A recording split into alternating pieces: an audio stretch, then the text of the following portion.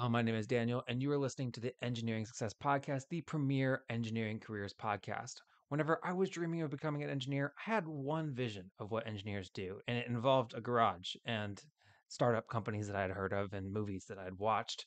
But boy, I was surprised whenever I got to engineering school and I started my classes and I started talking to actual engineers as I applied for engineering jobs. Engineers do a lot of things. The engineering degree is so versatile, and because of that, engineers do a lot more than just prototype new things. And that is why I started this podcast. Because if you told 12 year old me what I do for a living now, my mind would have been blown. This is a podcast for aspiring engineers to learn more about what it's like to achieve an engineering career.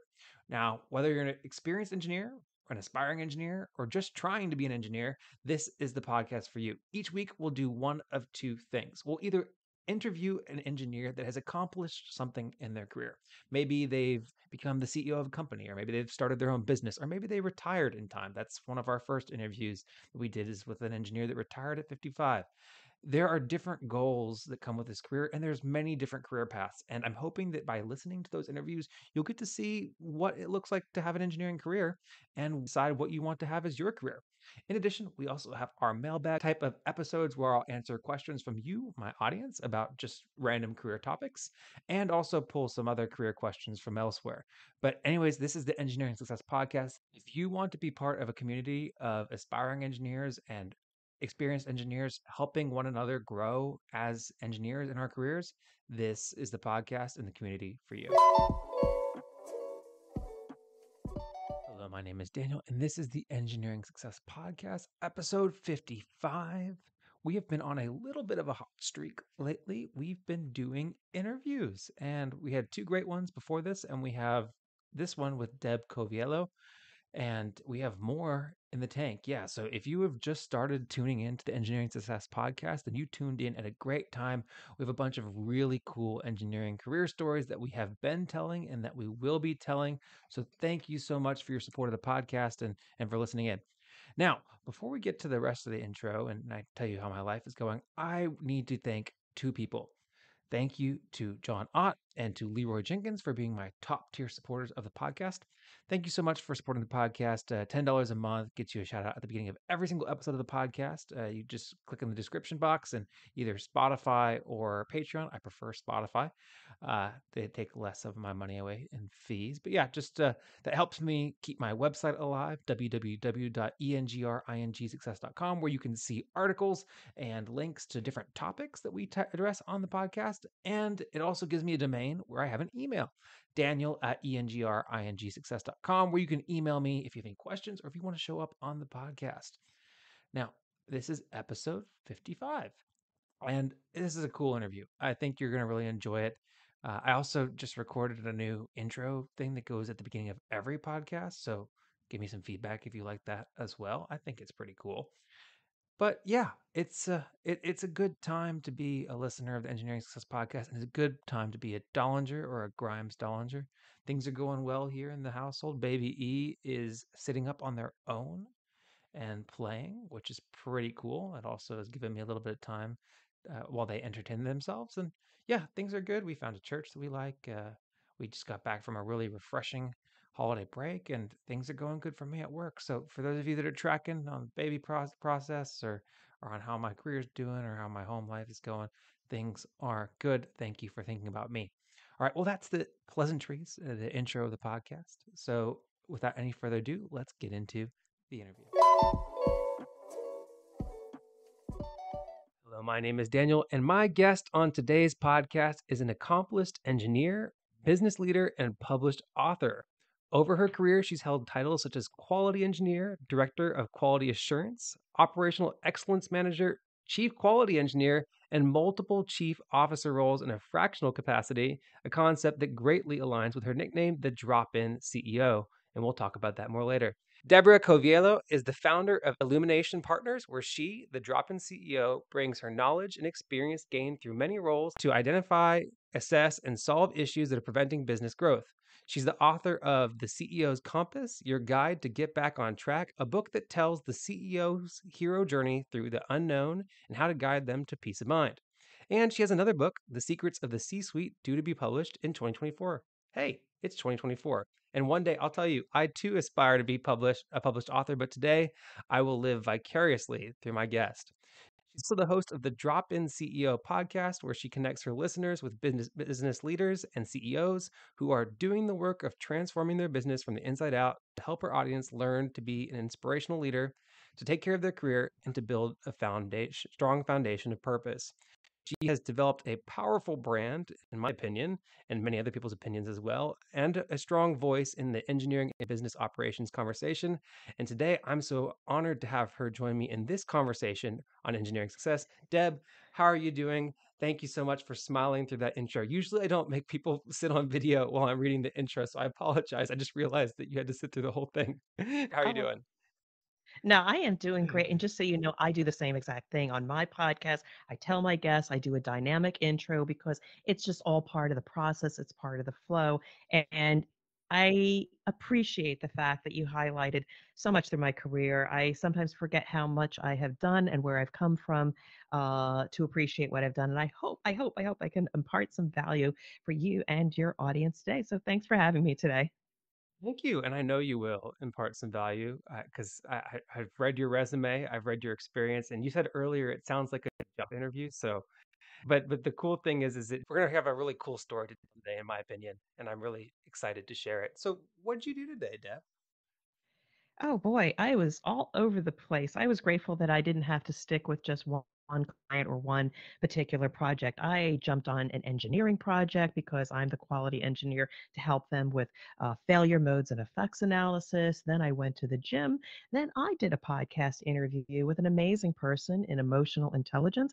I reconnected with a colleague who has also been on my podcast, rested a little bit, spent some time cooking with the family and getting a dessert made for tonight, and rested. And now I am here with you. So it was a little bit of a jumping all over the day kind of place, but I appreciate that sometimes having that freedom to pick and choose which activity to provide the most value. And it's not always been that way. Sometimes I've been overly stressed, but I felt really, really good today to do what I wanted to, a little bit here and a little bit there. So that's my day. That's so cool. I, I I love that's a full day. That I'll be honest, you did a lot more than I did today. I guess we all get our same 24 hours, and and you definitely are doing a great job of utilizing your 24. Uh, Well, it wasn't always that way. I mean, when I got up in corporate and didn't have some of these skills, I worked a lot, a lot, a lot of hours. And there were so many things I didn't do that I really enjoyed, whether it was reading or going to the gym or walking the dog or something.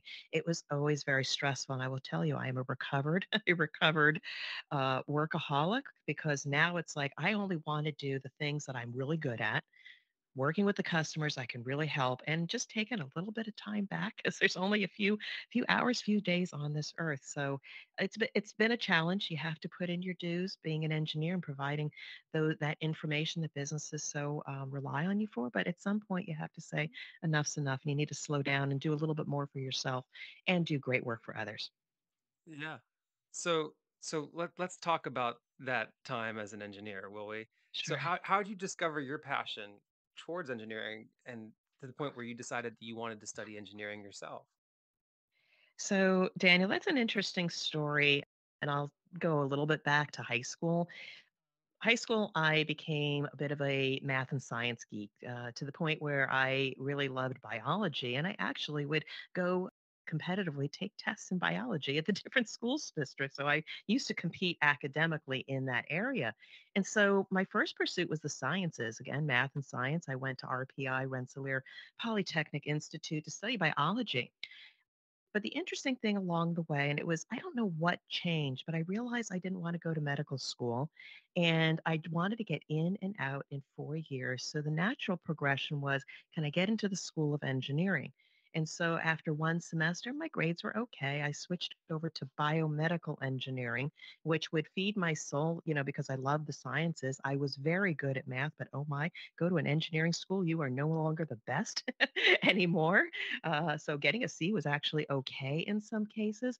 And I was then able to get a career or a job that I could monetize at the end of four years in biomedical engineering. And I focused on mechanical and materials engineering versus I had an option to go down the chemical route or the electrical route, which was, oh my, I don't think I can do that. That's a little bit too hard. So kudos to all those people that focused on the electrical engineering component. And I was able to get a job. And I mean, that was a focus to be independent, get a job. Engineering mm, back in the 80s was very uh, profitable. There was a big demand for us, and uh, I wanted to do that rather than mm, going to medical school because I, I got totally turned off of medicine for a couple different reasons, but got totally turned on to manufacturing. And so I realized engineering was a good use of my skills and my interests, and I was pretty good at it. So that's there you have it. I got a degree in biomedical engineering, um, but based on you know a strong foundation in math and science. Well, and it's interesting that you you actually went to your college because I asked people why did you choose this school and why did you choose it for engineering, but you actually chose Oh, the university you chose because yeah. of I guess the because of the bio program. Engineering really wasn't on the radar at that point in time, was it? so there's a couple things. I knew that I wanted to go science and engineering, so I needed to go technical. Um, I got into quite a few schools. I didn't get into those Ivy League schools, but I got into Boston University, RPI, uh, Stevens Institute of Technology, Rutgers University School of Engineering, you know, all good tier two engineering schools. But I also wanted to leave home. I needed to grow. I needed to get away from my hometown. So it needed to be far enough away, but close enough that I could get home. So there goes Stevens Institute and uh, and uh, Rutgers University because I lived in New Jersey. But going to Rensselaer Polytechnic Institute in Troy, New York, was about a three-hour drive. So it was far enough away, and it was a really, really, really good for science, engineering, management, and they have a great hockey team too, or they did back in the 80s. And so, uh, and I got a good financial aid package. So I said, let's just give it a go. Yeah. Would you would you say that would you say that distance and financial aid package were the most important characteristics for you when picking a school in addition to the the academics of the university? I think I was going for academics excellence first. I Yeah. did apply to Cornell, Lehigh, Bucknell, Villanova, some of the top tier, and I didn't get into the tier one. I wanted to go to a place with academic excellence. And when I looked at the portfolio of the schools that I did get into, Rensselaer Polytechnic Institute just had a sound of prestige, plus um, trying at the time trying to get more women into the engineering program and even today there's not a lot of us that pursue that career, uh, career. so i think they were actively recruiting me as well they made it financially uh, beneficial to go and so it just combined everything the distance uh, the interest the, the prestige of the school and uh, the financial aid Cool. So what kind of yeah student were you in, in college? I mean, you, you mentioned earlier that you were you were the I guess the academic decathlon equivalent of biology in high school. So I'm going to go ahead and assume that you're you were a phenomenal student in high school. Now, did that carry for you into college? Well, I didn't change. Yeah. I knew how to study hard, Yeah. but when you raise the bar, which I did, I went to a school where the bar was raised. I was no longer in the top five or 10%. it's just what it was. So I took the challenge of going to a challenging school and it not being easy and never failed a course. I got a D once in my senior year, but let's just chalk that up to senioritis. But, Yeah. you know, getting a good C or a B was, I had to work for those. They were really, really, really smart people.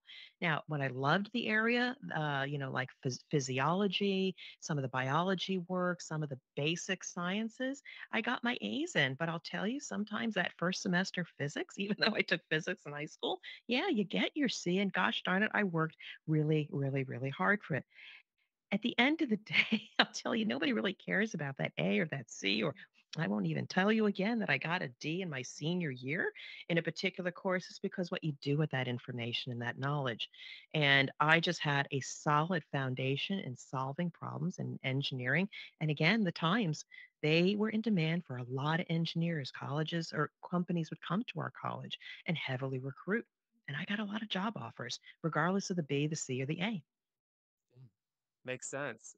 And, and I think that that's still the case uh, for uh, GPA is not the most important thing. Definitely, especially after you've gotten your first job. I know most of my colleagues, they, I mean, we don't include resume, uh, we don't include GPAs on resumes at, at a certain point. So yeah, I think that it is it is different it, when you go to college and go to engineering school. The bar is definitely raised. A lot of people Mm. are shocked by that. A lot of people struggle with that, but I think it's a very consistent message that I'm hearing in these interviews that it it, it is harder, but it's not the end of the world just because you're no longer making A's all the time. I, I think there's three three students that graduated in my engineering class that managed to maintain an A average all the way through engineering school, and I don't know how they did it. There, I, it wasn't me. I was definitely not that person. Um, so I you mean, it's mentioned, it- it's what you do with it. yeah, Again, that is one benchmark is it's all about getting the A, and I applaud those people that have gotten that. But it's what did you do with that? How did you get that A or that B or that C? And I'll tell you, engineering helps you to be a problem solver. It also helps you to work in teams because the collective knowledge of multiple people are what's going to help you get that B or maybe get that A. It's no longer an individual sport, engineering. You have to collaborate with other people. Mm. So while while you were in school, were, were were there any clubs or organizations that you were involved in, or any internships that you got to do while you were in school before you started your career? Yeah, um, I'll t- I tell you, I was very heads down into my studies. In retrospect, I probably should have done a few more clubs. Uh, back in high school, I was a musician. I played the clarinet, so I know for at least one year I played in the RPI band. And I will tell you, um, playing in the band when you have a Division One hockey team uh, is a big thrill because you get to go to all the home games, get great seats, and you know cheer on some amazing teams. So RPI is known for engineers, but Division One hockey as well. Um, I probably took some dance classes. Uh, I hung out a lot at some fraternities, so there was a big social scene. But I will tell you, in retrospect, I did not, other than hanging out with friends, bowling, maybe going to the the Catskills or the Adirondacks, you know, going to the mountains or traveling around a little bit. I didn't do as much with activities, and I would say to others, if you can squeeze it in, take advantage of the full college scene because um, those activities could lead to other things. I was in some um, professional um, high performing groups. I did get into a group called the Professional Leadership Program in my senior year. It was designated for not only people that were engineers, but also had a lot of leadership skills. So, with that year long program, I did get leadership development as well as going on some workshops, going on some hikes and things like that. Um, but other than that, I wish I had done more, but I did just fine. Yeah, no, you did just fine because you, you you you graduated and you said you had multiple job offers and let's Yeah. let's talk about that that experience. So your first job out of school, you you get your first job with Raytheon in their manufacturing department and their development program that they have, and you do Yeah. it's a rotational program. So Yeah. you go through four different six month rotations, and then you you find your way as a quality control inspection engineer. So how was how was your decision making choosing Raytheon? How, how, how did that go down? So I actually got two job offers from Raytheon. It just so happened that while I was interviewing for what was going to be a product engineering role, and it also paid a little bit more, but I also got identified in the interview process as somebody that had leadership skills. So they actually, I, I can't recall exactly what happened, but I wound up then getting a second job offer for their manufacturing management development program, very similar to what they might have at a a GE or something where you do the four, six month rotations. And I got paid at a lower rate. But by going through these rotations each every six months, I got a raise. So at the end of the day, I either got the same amount of money or maybe even a little bit more after two years. And think about all the breadth of experience I gained in different areas of manufacturing, giving me an opportunity, one, to decide where did I want to eventually land, because you don't quite know what you want to do coming out of engineering school and then the extra attention to develop leadership skills that I don't think I quite realized that I had, but I had the gift of communication. And in that, they saw leadership. So I benefited in the end by going with Raytheon. Uh, and also, it took me again away from New Jersey. I wanted to again experience another part of the country. So, compared to the other job offers, this was the best, but I did get uh, job offer for Goodyear Tire and Rubber. There was a job offer at some, um, you know, Navy facility out in Connecticut. I can't remember, but uh, it it felt good to get those all those job offers at a time when um, it was really good. I know it's not always been like that for engineering, but I was very fortunate and I ran with the best offer. Yeah.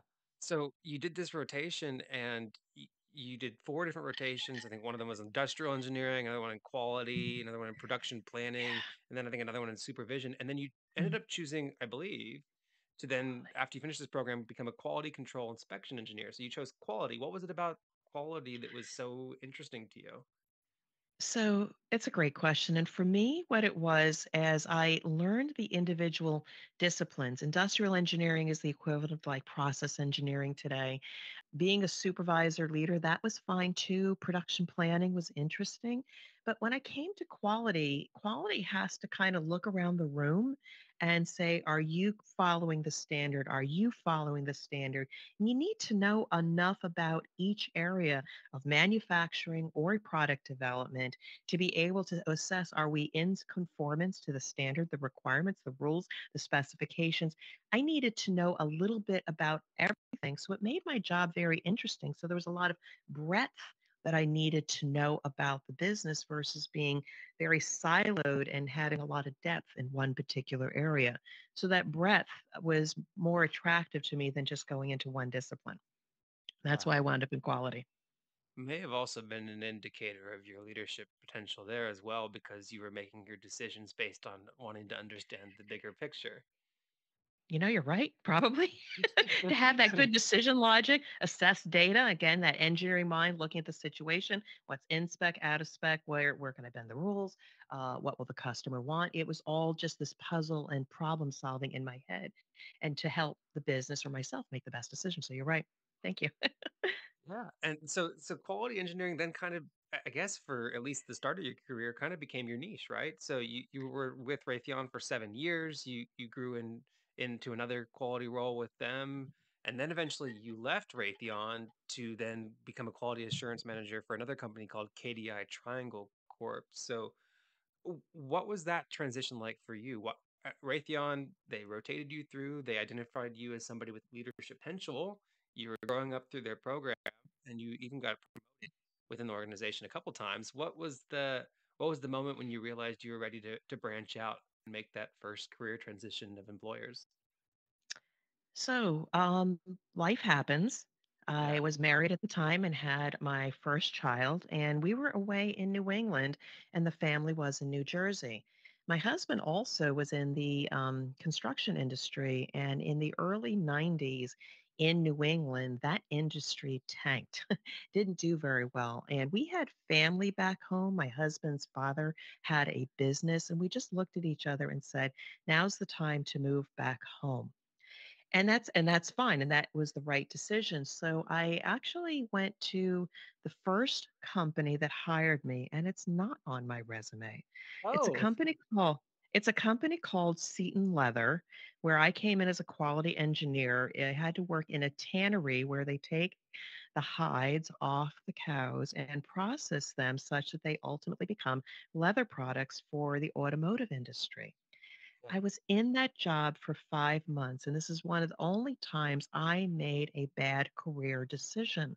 I took a position that based on past history, I thought I could do it because it was similar, it was a quality engineer, but I completely didn't know the industry and I was not making good decisions. So it was mutual that after 5 months I left. And then I had 2 months to figure out what I wanted to do and apply, apply, apply, for which then I landed at KDI Triangle um, Electronics Corporation. And there I arrived at a quality assurance manager role because I had led people and I knew about quality system standards.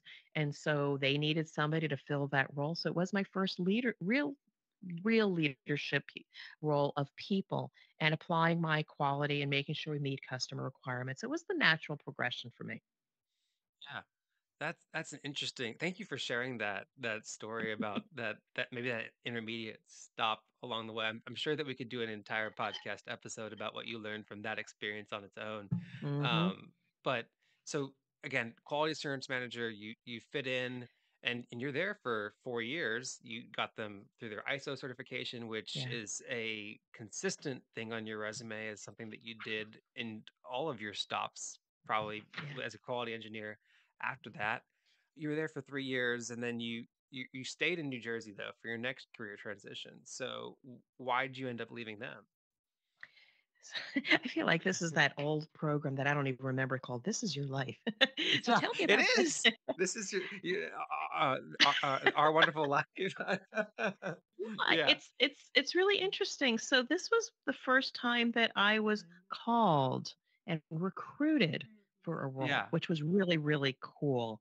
Um, Yeah. again, I'm pretty stable, stayed at a company, but there was this very interesting uh, prospect. So back in the day, there was a company called Lucent Technologies, which used to be AT&T, and then there was a European company called Philips Electronics, very renowned in the telecom industry. They were forming a joint venture between the two to create Philips Consumer Communications. And I went into a joint venture because this was going to be the next big thing, high tech, et cetera.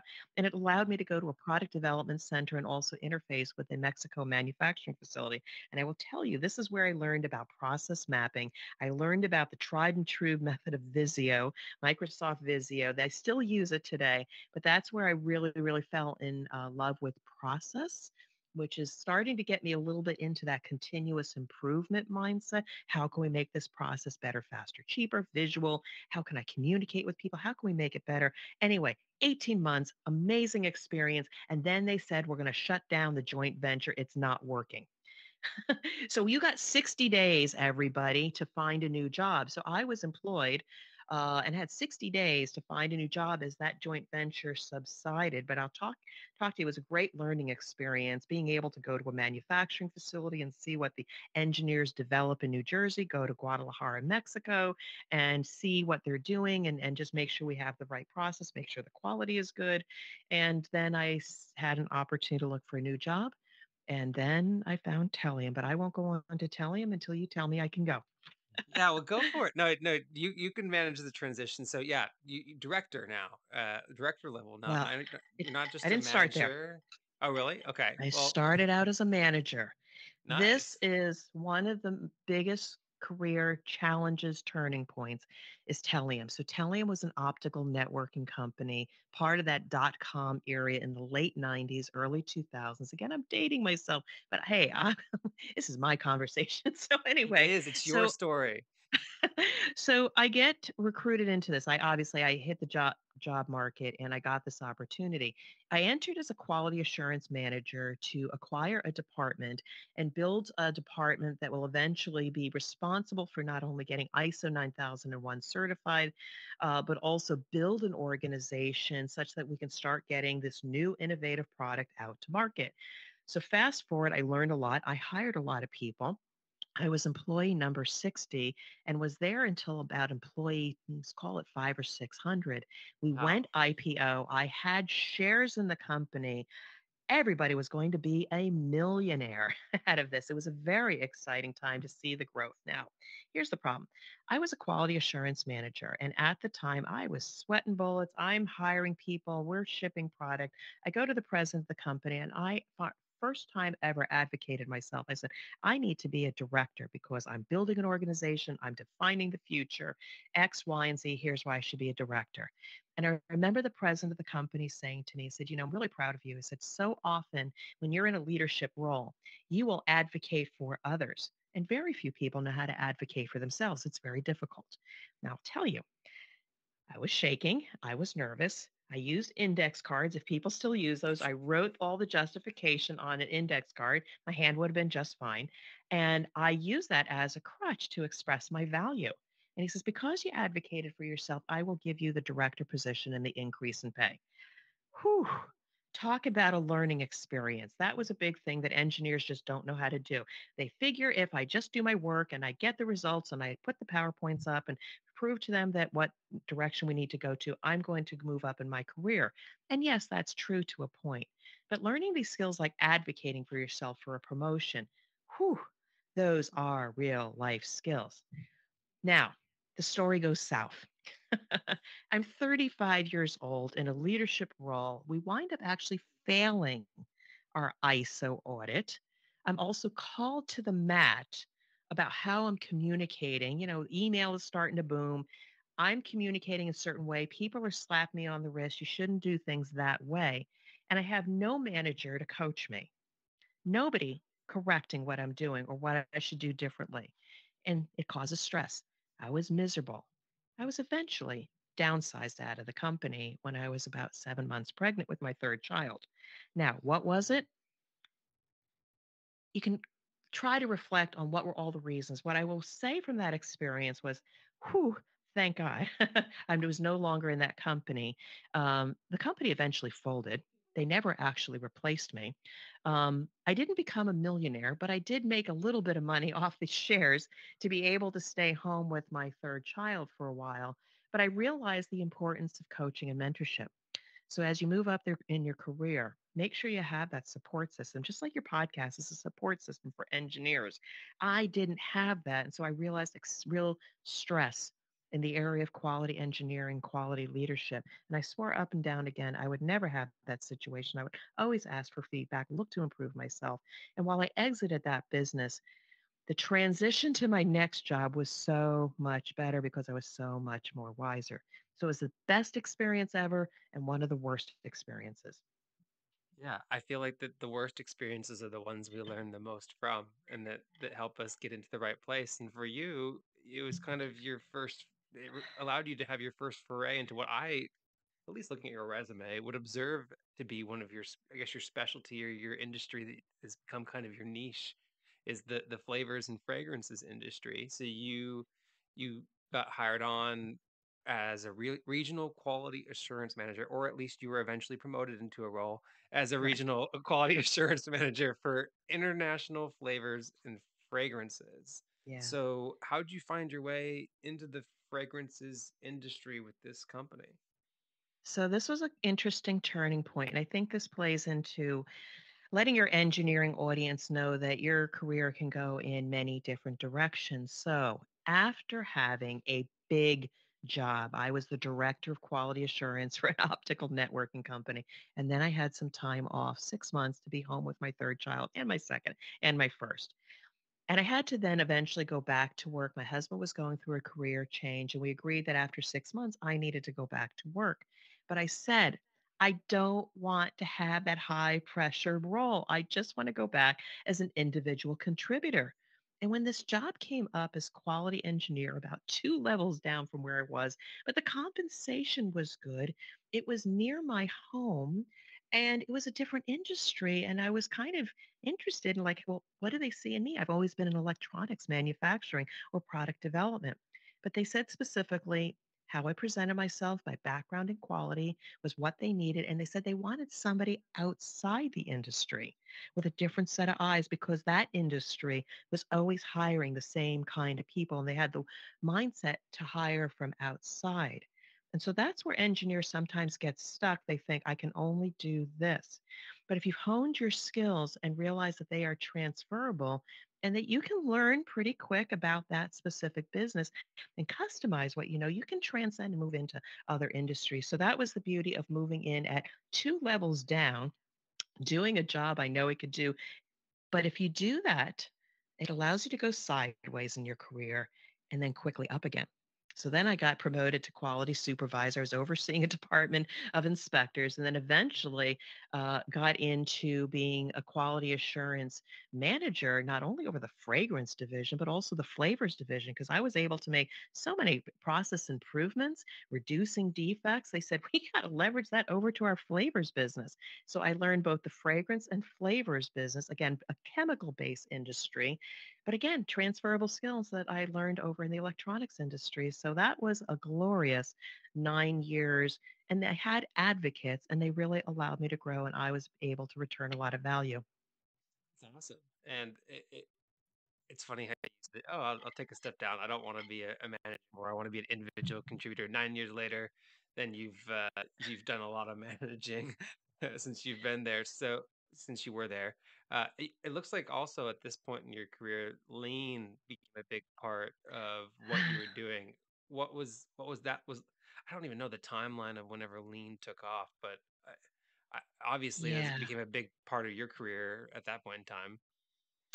Well, let's just say at that point in time, we were just dipping our toe into it. And so I was at the early stages where they would bring in a consultant and start teaching us basic lean principles of waste and 5S.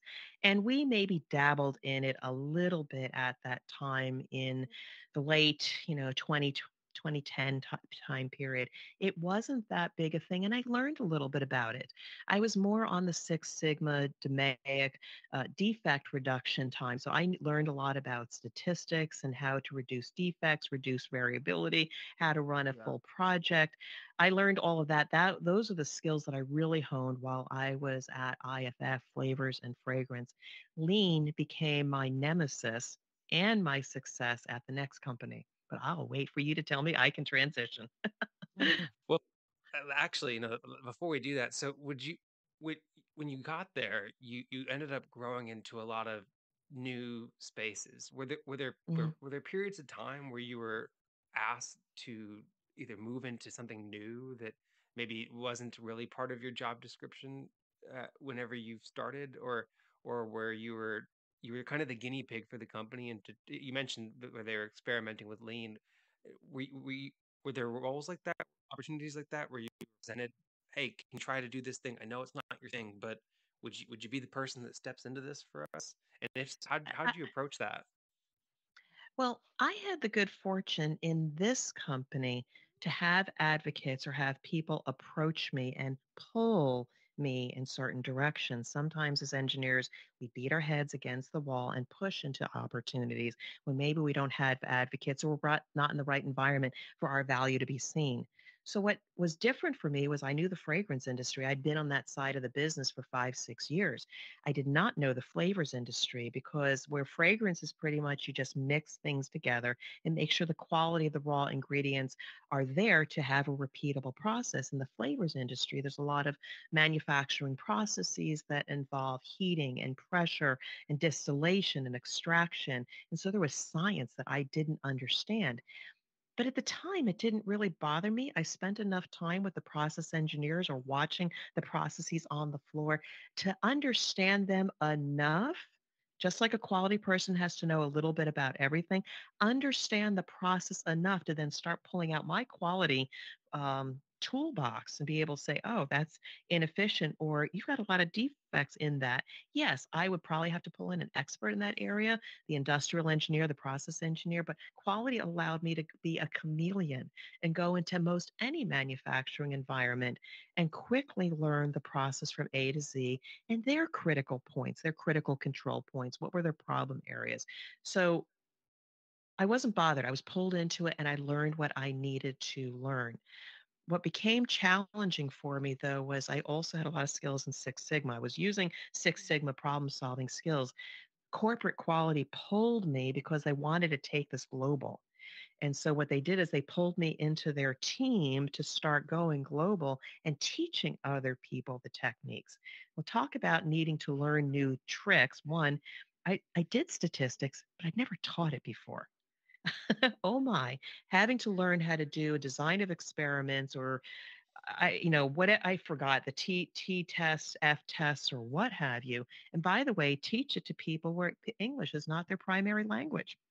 Oh my, that was a challenge. But when I figured out how I could teach it to myself and then teach it to others, I was really pushed out of my comfort zone.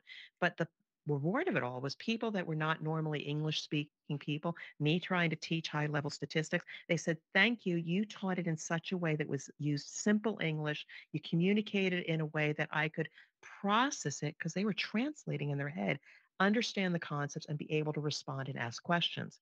Whereas my colleague, who was smarter than me, was using slang and American English, which was a disservice to other engineers who were trying to process that. So I just, I was pulled into these situations because I was good. I was a good communicator. And I just grew and grew and grew with that organization. So at that time, I wasn't bothered by pulling in th- into things that I didn't quite understand. I knew I could learn along the way. It's cool, and and it's so grateful that I mean, I'm so grateful to hear that you had advocates that were helping do that polling for you. Are these advocates people? I know I've stuck on this one for a while, but I have just lots of questions. Uh, are these advocates people that kind of identified themselves to to you, or did you seek them out? How did you find these these people that could help you grow in your career? This is such a great question. You're so you're so smart. These are really good. So if you don't have an advocate, gosh darn it, find them. Just just start networking within your company. Find people that you get along with that get you. What they're doing is is really cool, and maybe you do some things for them to help them out. Maybe they're in sales, maybe they're in procurement, supply chain, or something like that. Become an advocate for them, or, or, or do pro bono work for them. Become a partner because they will be the people that may become your advocates or say, what you did over here was really interesting. Can you do it on this team? And you create, I'm sorry, create pull.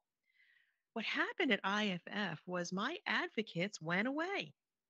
They got promoted above and was replaced with great people, but they weren't my advocates. They needed me to do my job, which often will keep an engineer down in a role because they don't want to lose you or they're not good at career development say well you could go over here you could go over there. I didn't have advocates pulling me along so i got to a place i was being pulled into a lot of different tasks global projects but i wasn't getting the promotions or the recognition. So i'm beating my head against the wall i start looking here i start looking there and the next thing i know the next company calls me and i go. Okay, so, so i had to you find new advocacy when i lost it Yeah, no, that makes sense. So the next new company is I can't pronounce it. So can you help me Givaudan. It's Swiss. It's Givaudan. Givaudan? Givaudan flavors. So nine years, nine really good years at IFF, and then you go work at Givaudan. Do they do stuff with like Giordano? Like, like it sounds like they do stuff for Giordano chocolate. No, I'm, not, I'm probably not even They could. pronouncing that They correctly. could. They they Yeah. could. I mean, they're flavors and fragrance company, and so their flavors are all over the place. Coca-Cola, Pepsi, Unilever. I mean, Haagen-Dazs ice cream, everywhere. I mean, so but the same with IFF. At the time, Givaudan is the number one company globally, and IFF was number three at the time. So they're all in the same camp. They're all going into the big name companies, offering samples of their things to solve particular uh, problems. So yeah, so Givaudan was just a bigger player in the field. That's cool. So, man, your job must have smelled so good. I, I'm just thinking about that in the back of my head right now. It must have been smelled so, or, or maybe it was horrible because there were just so many different smells mixing with one another.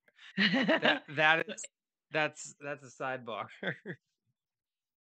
yeah. yeah, I Uh, mean, there are good days and bad days. When you're on the fragrance side, you can smell wonderful, but the individual ingredients that go into making a fragrance don't always smell good. And if you were in a spice plant and then had to jump on a plane, oh oh my, you no. wish you had a shower or change of clothes.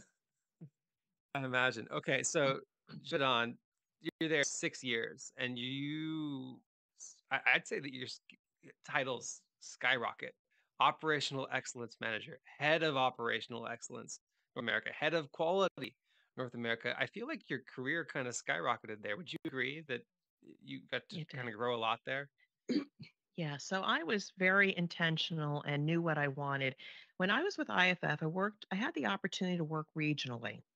Um, but I wasn't really, and I was responsible for quality in two plants, but not all the plants. I just knew I wanted to have a higher impact. I wanted to be responsible for a larger um, number of plants. I just knew I had more to give. And moving to Givaudan, first as a quality, uh, uh, it was basically, again, a step down in order to get into a bigger company as a quality and operational excellence manager in New Jersey. But ha- what happened is I raised my hand. Oh, Cincinnati's having a hard time. I'll go. I'll go. I'll go. And I was soon recognized that I was able, I had some really, really great problem solving skills. And so regionally, they started leveraging me. They started sending me to Kentucky, to Ohio, to Florida, even though I was a New Jersey resource. Well, uh, several things happened. There was some organizational chaos. I accepted a job at another company. I was going to leave Givaudan because I was not being considered to be the head of operational excellence for North America for then five plants. And that's a lot of money. That's a lot of um, process improvement. And I almost left the company. And in came the new vice president of operations who talked to me about why was I leaving. I said, because I'm sitting here in New Jersey doing this, that, and the other thing. And I saw on the internet that they were looking externally for the replacement. I said, you didn't even come and approach me. So I had my day in court. I told them exactly why I was leaving and I wasn't being recognized. The next thing I know, I get the job offer, but you have to move to Cincinnati, Ohio. So Hurricane Sandy had just hit New Jersey industry was devastated.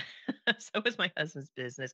I, eh, we just needed a reset. The economy was terrible in New Jersey. My two boys were in college. I had a daughter going into middle school. We said, you know what? This is the perfect reset for our family. Let's make the move. So we left most of our family in New Jersey.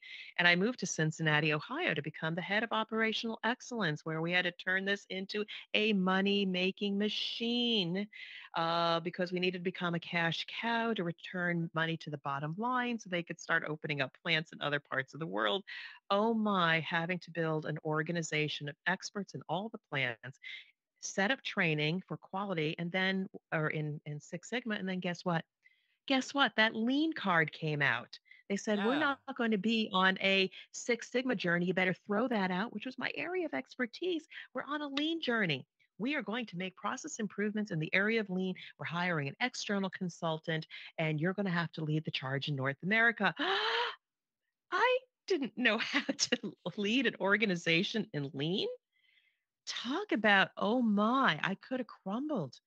And there's a whole story behind it, but I had to get myself quickly educated to a certain level to understand lean and get my green and my black belt certification in order to be credible and lead others to say this is what we need to do to get rid of operational inefficiencies, serve our people, and be able to get $5 million in cost savings annually.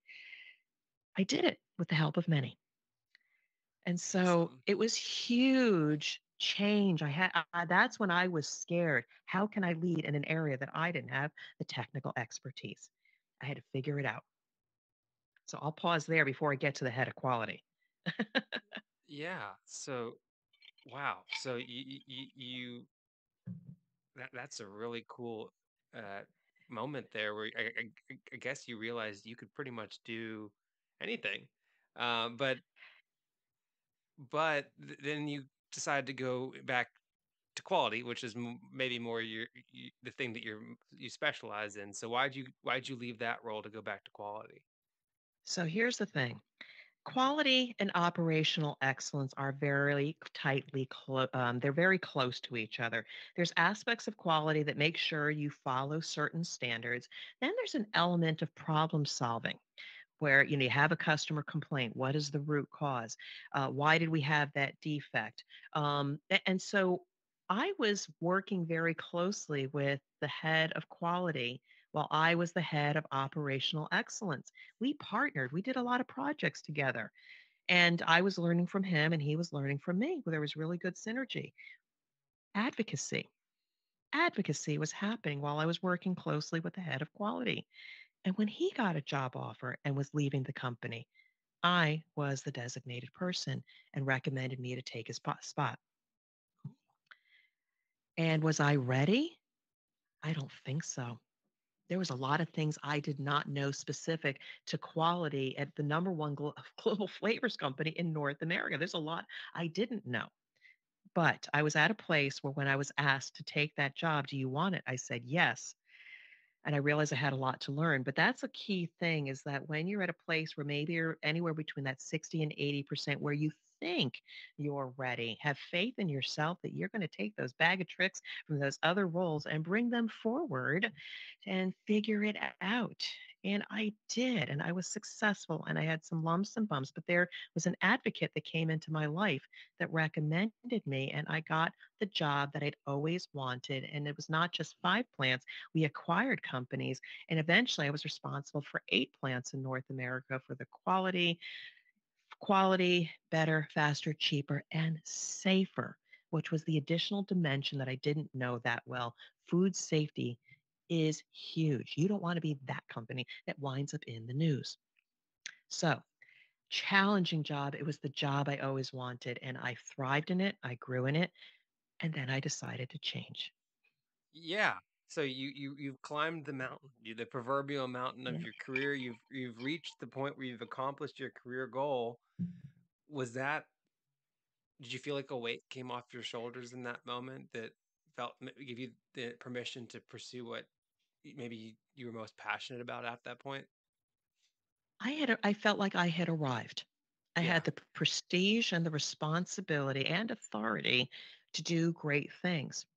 And it, it was just amazing hiring people, working with plant managers to help them with their quality issues, um, you know, and quality initiatives, what have you. It was really interesting work and grew a lot of people that worked for me. I helped a lot of people grow their career, talented, talented engineers, food scientists, et cetera. That was probably the biggest thrill that I had in that role was knowing that I was no longer the technical expert, but hiring people around me or pulling people from the plants, these amazing engineers, scientists, et cetera, um, to do the work. And what I found was they had shortcomings. They maybe weren't efficient. Maybe they didn't know how to communicate their message. I came into my leadership finest to be able to unleash their potential and amplify the impact of our region, where we started out as number four out of four regions. And eventually, through me changing my leadership style, and helping to elevate the technical capability of my team did we then move to the number two position in 18 to 24 months. That was a real thrill that I realized this is my purpose now. This is what I need to do is elevate people to have a greater impact. And elevating people to have a greater impact turned out to not be with the company that you were with anymore and you in you reaching it and you arriving turned out to be you branching off to do your own thing uh, so this is right? This is 2019 you branched off you created your own llc called illumination partners and then you started doing contract work. Why did you decide to start your own thing and and no longer have this one company being your employer anymore? Why why'd you break off and, and start your llc So it was a mutual decision for us to part ways. It was a really interesting time because we had also run into quite a few quality issues for which we were managing them. But for me personally, I was starting to get very stressed with the amount of work. And even when I did have the right support structure, it was very, very, very stressful. It was no more, it wasn't fun anymore. And my boss came to me and we had a conversation and we made a decision for me to mutually separate from the company. And these these types of things happen to the best of us. And it was absolutely the best thing that ever happened. And I was le- I left the company with dignity. I was able to tell my story that I wanted to do something different. And I wasn't sure exactly what that was. And I got to set my own timeline of when I left. And it was a rather nice severance package. So they did it with we, we did it with the utmost respect, giving me the time and respect to be able to do what I wanted to do next. Now, did I know what I wanted to do next? Not quite, but I knew I didn't want to work for a large corporation anymore because of all the issues. It just I felt very stifled. I couldn't be creative. I couldn't do things in my own way. My leadership style was appreciated by some, but not all. So I eventually, after months of reflection, said, I think I can do this on my own, but I want to do it for small and medium sized companies, not large companies, and be able to try to find clients that I can serve. Now, it has been an uphill battle. It could be a whole nother podcast on how to figure out who do I serve? What problems do I solve? Getting my talking points, and ultimately the podcast, the book, and all of that other stuff. It's hard in the beginning, but what is easy is believing in yourself that I have these skills that I can help other companies with, but do it for the companies I love, not be a permanent employee, help them during a particular time or a crisis, and move on or be a trusted partner. I wanted to do that work versus being tied to a company and losing my identity. I regained my identity by going out on my own. So yeah, and, and you started doing all these different contract roles, and you, you you describe them as fractional chief quality officer. So what Right. is what is a fractional? I I I look at it as a, as a, you're an executive leader almost at this point. You know what what is a fractional leader do for a company? So there are small and medium sized companies that know they might need a quality person, but they'll rely on their production manager to do everything from producing and assuring quality. But they might hit a juncture where they probably need to hire a quality leader, but they can't afford somebody full time. The best investment for these small and medium sized companies is to hire somebody that has all the experience in the world that could drop right in know exactly what is needed to be done and act and be part of that business. But not five days a week. They can maybe be in one or two days a week and provide the same value as if they hired a full time person, but they leverage our years and years and years of experience. We're not just consultants. Yes, we'll know exactly how to fix their quality department or establish a quality department, but I could do it in a fraction of the time. And so what they do is they get high value for a low investment. And I partner with the company until you get to a place where maybe you don't need me anymore. Maybe they get a couple new contracts for it. And then I can even help them hire a permanent person to replace me. It's about leveraging expertise, insert it in your business at the rate that you need it. And there is a growing, growing market of very experienced people like myself, fractional operations officers, finance officers, marketing officers. Again, you might think we're just consultants, but consultants have a dirty, uh, a bad name for themselves. I do an inspection and here's my bill, have at it and do these things. No, I become part of the business. I become yeah. that leader, that interim leader that they need. So that's what a fractional leader does. Yeah. So you're you're you're more so integrated in the team than the typical consultant. Hey, I work in engineering consulting, so I hear I hear I I, I hear the I hear I hear what you're saying there about consultants. Mm-hmm. It's it's us and you, but you know, we have seconded we we second people and, and embed people mm-hmm. into people's teams. So it's kind of like a seconded or like a seconded chief quality officer. Uh, I, I guess how I wrap my head around it. Am I? Am I? Yeah, I've done this time and time again. I've done this multiple times for different clients for anywhere from one month to three months to I keep coming coming back every six months for two or three month assignments. Yeah, and what is what have you learned about yourself from taking in these these roles and these fractional roles? Have you have you enjoyed? Because I'll be honest, for me, having to deal with that many different sets of stakeholders sounds stressful. Uh, so how, how how what have you learned about yourself and and working in these roles? Well, you learn time management and time blocking yeah. because some clients can be a little crazy and some can be very hands off and learning not to be bouncing between one client and another within a day is highly disruptive. So it is better to time block a little bit like Monday and Tuesdays, I'm going to work on this client. And while I may monitor email and respond to a few phone calls on the other days, I'm going to focus on this client Wednesday and Thursday, knowing I'll get back to that other one because I learned about myself when I kept jumping around between one, even within a day, within an hour, I wasn't as effective but I know, and I just did it this summer, I can handle three full time clients at the same time, but you will burn out. So you do have to also learn what is your capacity so that you don't burn out and don't fall out of love with the clients that you serve. I've learned a lot that way. Yeah, that makes sense. And and you do all this under your entity Illumination Partners, but I think you also do other things under that entity. I mean, you've written you've written your book, you have your podcast. What is Illumination Partners? I I I, said it briefly, but but maybe you give you an opportunity to share the whole story. So, Illumination Partners is representative of what I was feeling when I was trying to figure out what am I going to do next and I wanted to form a company and one thing that kept showing up in my life were beautiful bright lights. We would go to a hardware store and I'd be looking up at the lights and I was very inspired by lights and my daughter keeps saying I must have been a moth in a previous life because I'm attracted to lights. But there's also then the element of ideation and creativity and seeing the light at the end of the tunnel.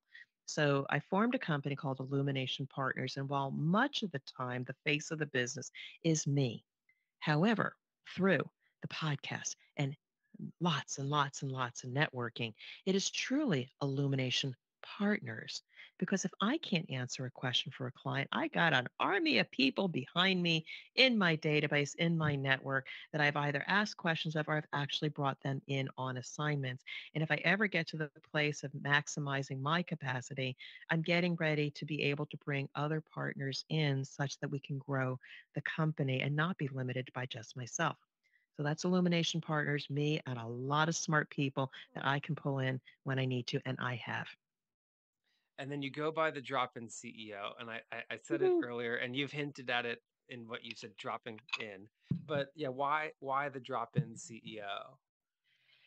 So, this is a very interesting question, and it's a really cool story. And I don't necessarily drop in as the CEO of the company, but I often drop in and partner with the CEO because it's a lonely place being a CEO or a vice president of a company or a founder. And sometimes they need a partner to merge with them to understand what are the opportunities or challenges and solve a specific business issue. So I go in with a set of eyes as a CEO on what need what treatment is needed. Now, how did we ever find the drop in CEO? Well, it's an interesting thing because early in my journey, six months into building my business, I found podcasting and I found a few podcasts to guest on. And during the process, they said, "Tell me what you do. What, how do you, what's your approach to solving problems?" And I start describing it on this podcast. And I say, "Well, I'm kind of like the drop-in CEO. I assess the landscape, I solve the business issue, and I also elevate people's capability." And then you pull me out. And at the end of the interview, they said, "That's brilliant. Where did you get drop-in CEO from?" And I said, "Oh," I said, "I don't know." But then I had a flash of a memory when I was at Tellium, that company that I eventually got let go from, but they went through rapid growth. Because we went IPO, there was a lot of money hinged on this company. And we were at a place where we we're having challenges they dropped in a CEO to work with myself and the head of operations to solve business issues. And he rolled up his sleeves and worked directly with us to solve the issue and also build up our confidence because we were new to our roles. And then when the company got big enough and we were getting ready to go IPO, they pulled him out and put in new leadership because he had done his job. And I remember that persona of how he made me feel and how he operated, Mike forgot his last name, but Mike. I've never been able to find him or connect with him, but his name was Mike. Mike Hodge, I think Mike. Anyway, and so what happens is the person who interviewed me said, That's brilliant. You should stick with that. And I couldn't own that because I said, I'm not a CEO and I've never been a CEO before, but I act like it. And so about six months in, I got the podcasting bug. And I said, you know what? I'm going to call the podcast the Drop In CEO.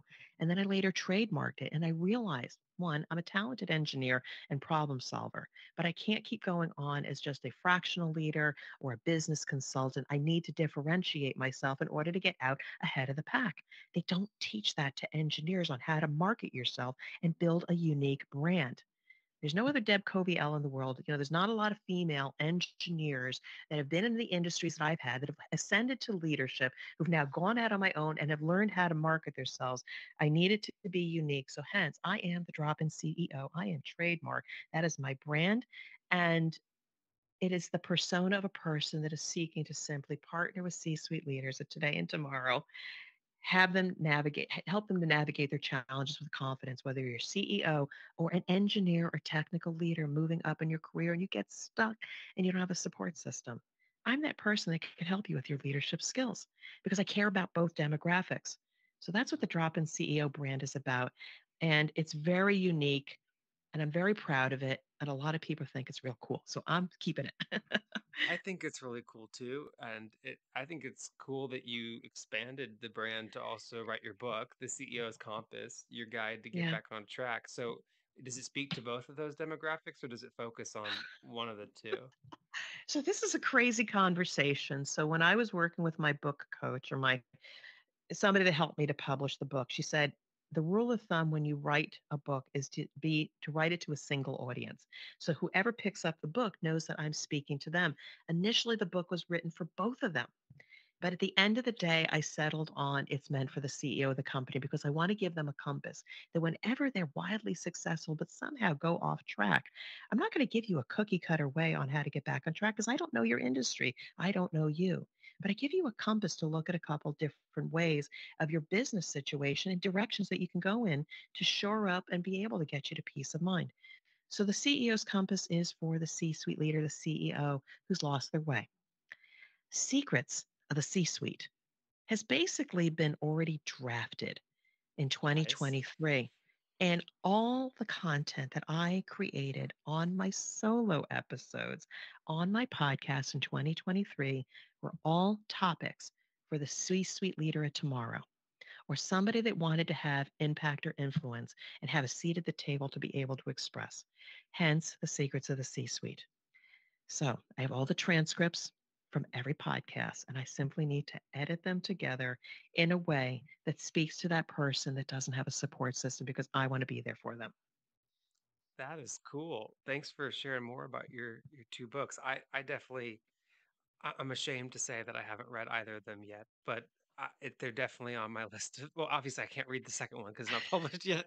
I'm ashamed to say I haven't read your unpublished book. Uh, but uh, but yeah, no, the CEO's Compass, your guide to get on back on track. I'm not a CEO, but I think that you said that it was It originally written for both audiences, so it's definitely going to be something that I have to to pick I up and read myself. how do you elevate your game unless you start learning how to act at the next level and be Exactly. start thinking of yourself at the next level? That's how you move up. Yeah, exactly. It, it's I, hey, when people ask me what I want to be doing one day, I, I say I want to be running the company. So I, I, I keep I keep that I, I I act like it and uh, I communicate it, and maybe I need to read like it as well. Deb, thank you so much for for sharing about your your your book and and your podcast. Now, looking back on on and on your career, so looking back on that career, I mean, is there anything that that that we've missed or any big takeaways? I, I know advocacy is a big one that you've hinted at, but any big it's, a hard question to ask, but is there any overarching advice that you'd give to a young aspiring engineer that's considering engineering uh, that they should keep in mind or uh, consider whenever they're pursuing a, a career or I don't know. That, that that's a There's a horrible of way to ask the question, but yeah, biggest takeaway for get you in your career. Well, just note, Daniel, that you know we spent a little time t- together, and I know what kind of impact you want to have on the people listening to this show. So let me leave a few thoughts with somebody out there. And mind you, one's career doesn't necessarily have to go up; it could increase in breadth. You may want to simply be a senior technical lead and mentor others. I'm not saying that you have to go up in your career, but think about how you can increase your value and impact. And a couple of things that I want to leave with the audience is if you want that next job or that next level or the next position, you have to believe that you're already at that level because sometimes we hold ourselves back and don't know how to speak to the people that are already in that position. But when the day you start seeing yourself as just another human being and you can see and envision yourself in that next role, let's just say it is up something happens, confidence comes with, and other people start seeing you in that role. It's a form of self advocacy, which leads me into self advocacy. Don't wait to say that you're 100% ready for that role or you've got all the certifications. It's more about what value do you provide and what problems have you solved and being visible. Again, I talk about this. Make yourself visible, share your work. You don't have to be showy, you may be humble, but be visible in how you're helping others and if you see an opportunity, learn how to advocate yourself, practice on somebody. It's not that hard. It's a new skill. Because if you want to realize your dreams, you want to run the company, you already have to start seeing yourself at the next level and advocate for yourself and show your value in order to get there. It's that easy, but it takes a long time to learn. And sometimes you need a support system, whether it's this podcast that you're listening to right now, or maybe somebody like me might be a place that you can just talk to for a few minutes and maybe I can impart some thoughts with you. So Daniel, thank you so much for having me on the show and sharing my insights with your audience. Hopefully, it was interesting. It was interesting to me, and and thank you so much for your time. Right, thank you. Well, guys, I hope you enjoyed listening to that interview as much as I enjoyed listening to it and being a part of it. Uh, Deb, thank you so much again for your time. And if you thought it was a good interview, please make sure to either write into uh, Apple Podcast, give me a five star review there or wherever you listen to podcasts. If you're watching on YouTube, make sure to share it, like, comment down below. It really helps me out. The engagement in the videos really helps me out, especially those of you that have been commenting in my why is the engineering dropout rate so high? video. Thank you so much for engaging with that video. It's been very successful. I think we have 26000 views. But your engagement with the podcast by sharing by commenting by giving your feedback is the best way to help the show grow. I really appreciate it and i'll catch you guys in the next episode. I'm not complaining. Nah, i'm not complaining. My thoughts get complicated. I cannot explain in lameness. Never losing focus because i ain't chasing payments. Still playing in the basement while i'm working on arrangements. They heard the kid in 50 countries thank god that's amazing. But i'd rather thank spotify they put me on the station